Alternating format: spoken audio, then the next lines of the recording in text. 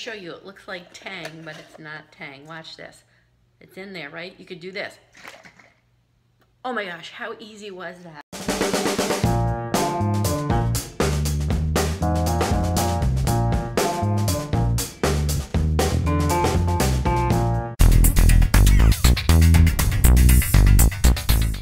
Hi everyone, it's Laura. I just got back from the gym and people ask me all the time, Laura, what do you before a workout, after a workout? So I thought I would make this really quick video to show you one of my super easy, easy meals that I love. So watch this. It's um, hard-boiled eggs. I have two hard-boiled eggs. I don't know if you can see that. And I put it through a little slicer.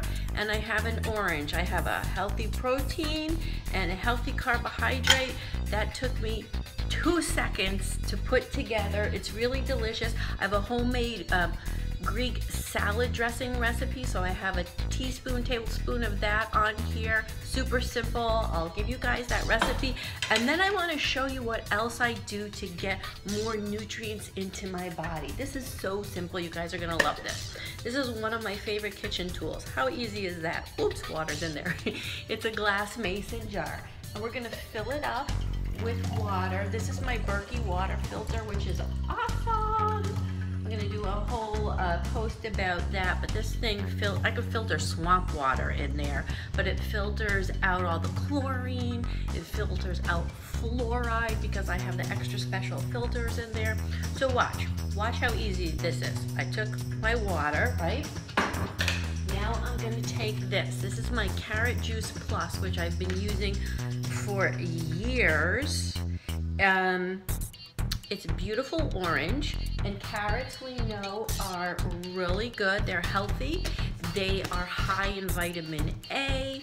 They help with the eyes. They're loaded with carotenoids, which is what makes that orange, that beautiful orange color but who can eat oodles and oodles of carrots all day long? This is an easy, simple way to get more vitamin A and more um, antioxidants and carotenoids into your body. And it has 30 calories in one scoop, 3 grams of sugar, and 6 carbohydrates. Watch. This is a great addition to my meal. I'm going to show you. It looks like Tang, but it's not Tang. Watch this. It's in there, right? You could do this. Oh my gosh, how easy was that? Now look at this beautiful, easy, healthy after gym meal that I've got going on. I'm gonna throw some ice in here because I like my drinks cold. And this is nutrient dense. And this is how to feed your body. The body does not count calories, it counts nutrients. And this is really nutrient dense.